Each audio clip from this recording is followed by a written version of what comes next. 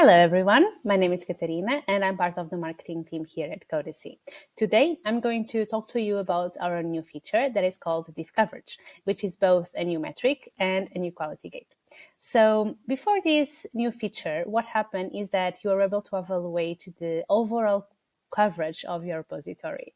So in every pull request, we were able to evaluate if that pull request was increasing or decreasing the coverage of your entire repo.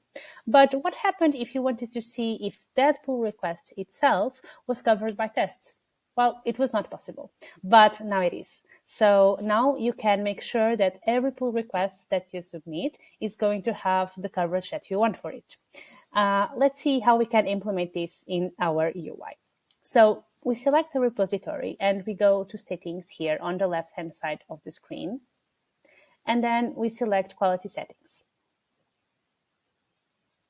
And as you can see here, the screen is divided in two parts. So one of them is pull requests and the other one is about commits.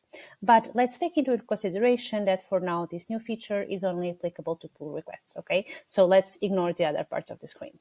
And what we have here, as you can see, it's a new line that says diff coverage is under. So you can select here if your pull request uh, is covered by tests by a specific percentage. In this case, we activate it and it's 70%, but we can change and select a number from zero to 100. Okay. So this is going to see if the changes that you introduced in that pull request are covered by tests or not. So in this case, if 70% of those changes are covered by tests. And once this is selected, how we can evaluate this.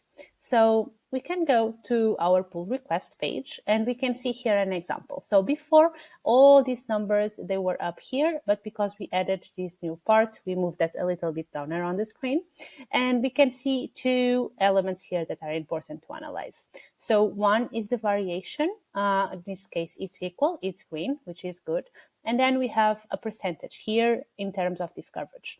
So in this case, it's 100%, which means that every line that we change or we added that is different in our code, in this specifically pull request, 100% of that is covered by tests. Okay. And there is also something that you need to consider here, which is the color of this number. So right now it is gray because the quality gate that we just selected was not activated at the time.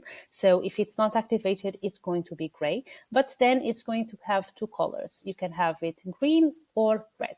And of course, the colors are self-explanatory. So if it's green, it means that your uh, coverage is above the threshold that you've defined. And if it's red, it means that your code is not enough covered by tests based on the threshold you defined. So this is how you use this metric. And of course, you can also block the pull request in your Git provider if you want to, but that's totally up to you. Um, I think this is a very good metric and it's a very good feature that you want to guarantee that every pull request that you make is going to be covered by tests. I hope you like it and see you soon. Have a nice day.